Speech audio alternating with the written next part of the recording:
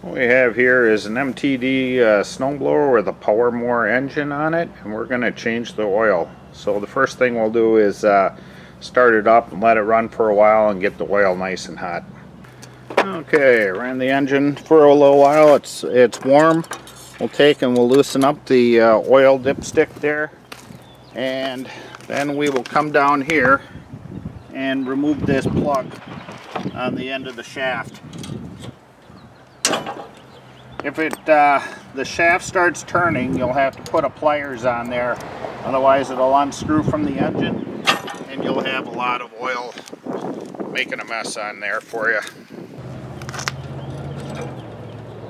10 millimeter. I have our little bucket there to catch it. And it's probably a good idea to have a rag nearby.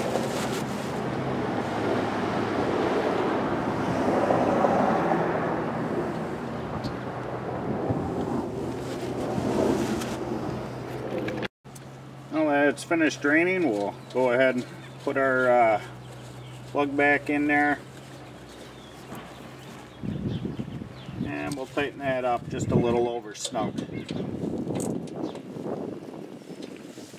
Next you're going to want to purchase some 5W30 motor oil and we're going to take and remove the dipstick here and fill it up with oil continually checking.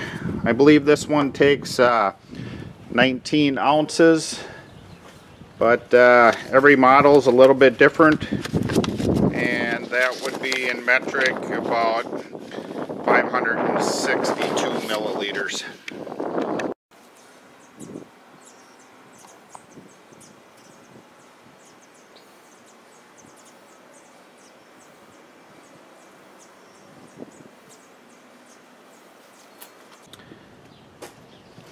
Now we'll take the dipstick here.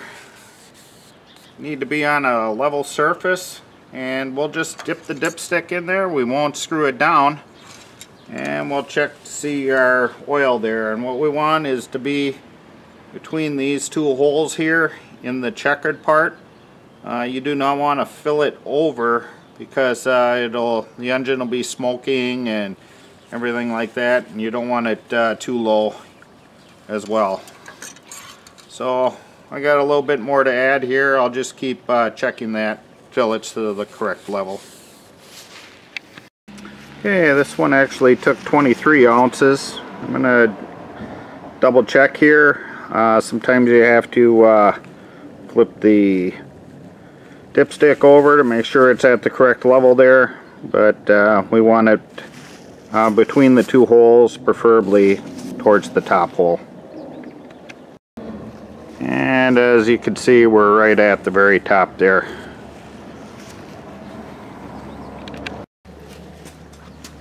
I'll replace the dipstick here, make sure it's in there tight, and we'll properly, properly dispose of our oil.